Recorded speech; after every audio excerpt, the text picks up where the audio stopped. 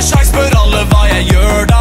Jeg hitter kløben som om hverdag var en lørdag. Så mange damer er og derved, jeg spør alle hva jeg gjør da. Jeg